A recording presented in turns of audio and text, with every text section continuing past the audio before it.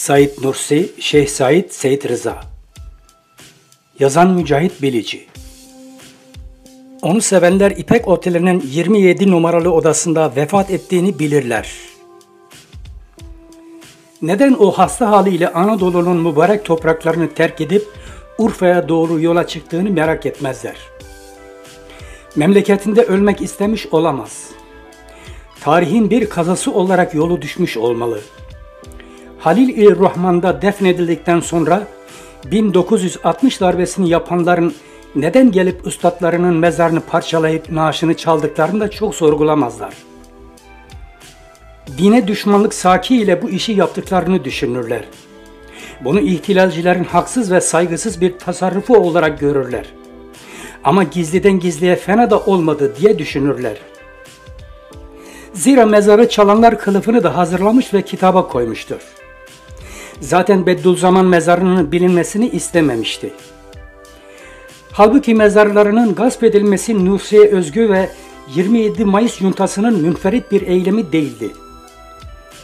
Daha önce Şeyh Said ile Seyit Rıza gibi devlet kaynaklı taciz ve zulümlere karşı itiraz ettikleri için idama maruz bırakılan zatlar da nebaş bir devletin kurbanlarıydı.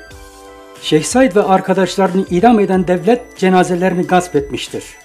Yine Seyit Rıza'yı katleden devlet onun da mezarını çalmış ve mezarsız bırakmıştır.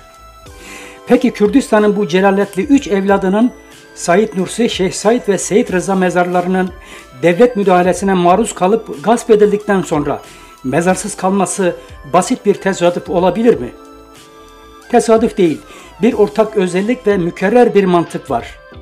Acaba neden devlet öldürdüğü veya zaten vefat etmiş bu önemli Kürt pişlerlerinin cesetlerini çalmayı tercih etti? Amaç bu insanların ölümünü engellenmekti. Bunlar doğumu engellenmemiş Kürtler idi. Yani vesayet altında ve tarihin radarına yakalanmadan ölen Kürtlerin aksine bunlar çuvalı yırtan mızraklar misali kendilerini inkar edilemez şekilde yazmayı başarmış isimlerdi. Sürgün veya idama rağmen bu zatların maddi doğumlarından veya milliyetlerinden bağımsız olarak tarihe birey ve Kürt olarak doğdular. Devlet açısında Kürtlüklerinin doğumu geri dönülmez bir şekilde gerçekleşmişti. Ve doğumu engellenmeyen bu Kürtlerin ölümünün yani miraslarının coğrafya silmesinin engellenmesi gerekiyordu. Bu zatların mezarları onlar öldürüldükten sonra onların kahramanlıklarına, davalarına, bir cesaret olarak itirazlarının mümkünlüğüne somut ve kalıcı birer şahit olacaktı. İşte bu ihtimalin söndürülmesi için ölümlerinin engellenmesi gerekiyordu. Başka bir ifadeyle görmezden gelinmeyen bu Kürt figürlerinin görünmez hale gelmesi için mezarsız kalmaları lazımdı. Ta ki Kürtler için bir referans noktası, bir hatıra adası, bir ilham kaynağı ve nihayet bir cazibe merkezi olarak zihinlerde ve mekanlarda yer edinmesinler. Kürtler için milli şaire dahil olmasınlar.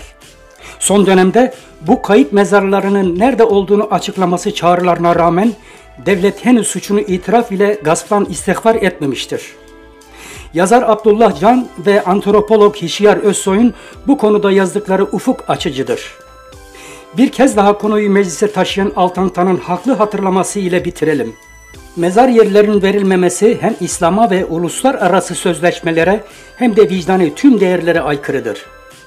Cenevre Ek 1 protokolünde kayıp ve ölü kişiler kısmında söz konusu ölen kişilerin ve bu kişilerin kalıntılarının saygı gösterilmesi, ölenlerin kalıntılarını ve kişisel eşyalarının yakın akrabaların isteği üzerine iade edilmesine değerlendirmektedir. İslam hukukunda ise düşmanınızın cesedine bile gayri insanı davranılmaz denmektedir. Ve en önemlisi de karşı tarafın istemesi durumunda iade edilmesi gerektiği vurgulanmaktadır.